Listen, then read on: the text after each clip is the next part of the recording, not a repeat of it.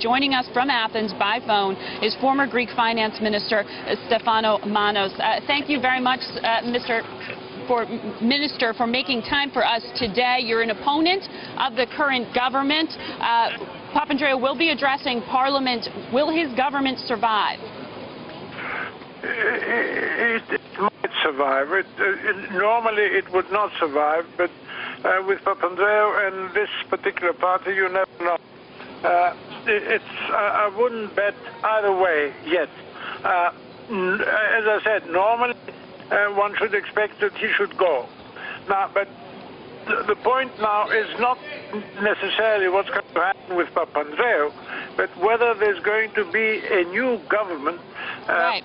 which uh, will uh, will be able to pull Greece out of the mess that Papandreou created. By that I mean that Papandreou may stay in the leadership of his party, but that the party and another party would support a government that would, uh, as I say, pull us out of the mess. Uh, Minister, what, what, the global markets are concerned about is not who is in that seat, but whether who's in that seat will honor the commitments that were hammered out in the Eurozone debt deal thus far. Will any new government, even an interim one, abide by those agreements?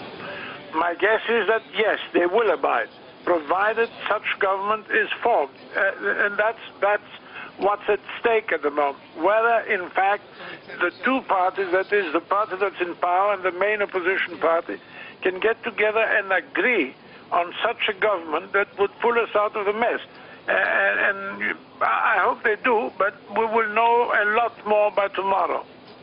Uh, sir, from the from the finance minister's position, you've been in this government before. When you look at the bond market right now, you've got yields above 100%. Uh, I mean, these are uh, financial difficulties and strain that would make it impossible for Greece to grow without severe austerity.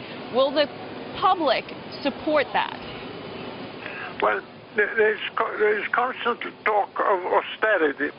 Greece, uh, the country, has a tremendous wealth in assets, which so far the socialist government has, has refused to sell or dispose But if you cannot collect taxes and bring in revenue to the Greek state under the former government, under the current government, how can a future one do that? How can you assure the global markets that that is possible?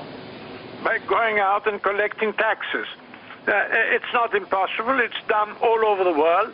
It's very much a question that the government in place has the political will to do it. But listen to what I'm saying. Greece could reduce, could slash its debt uh, yeah. to half what it is by selling assets. The assets are here. And the problem is that the government that's now probably towards the end of its tenure has refused to sell any assets whatsoever. And that's why we've reached that decision yeah. in Brussels to, uh, to reduce our debts. We didn't have to do that. We could have sold yeah. assets and achieved the same result. Uh, Minister, thank